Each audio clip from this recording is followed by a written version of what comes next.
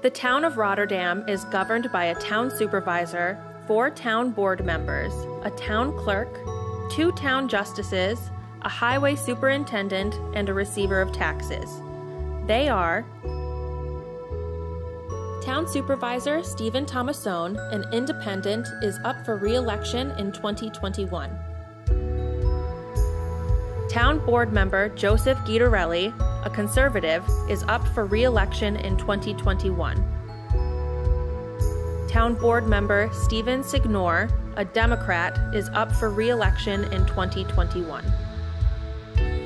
Town Board Member Evan Christou, a Democrat, is up for re election in 2023.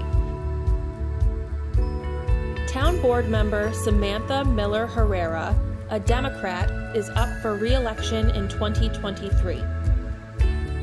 Town Clerk Diane Marco, a Democrat, is up for re election in 2021. Town Justice Kenneth P. Litz, a Republican, is up for re election in 2021.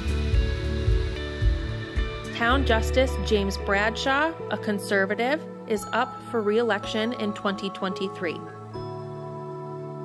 Town Highway Superintendent Larry A. Lamora, a conservative, is up for re election in 2021. The receiver of taxes for the town of Rotterdam is Diane Martin. Martin, a Democrat, is up for re election in 2021.